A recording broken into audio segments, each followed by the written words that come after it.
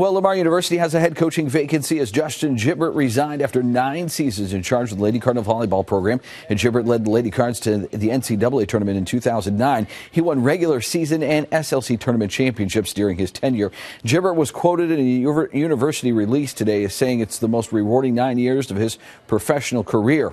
There was no other reason given for the resignation. And Gilbert won 125 and 156 in his nine years at Lamar.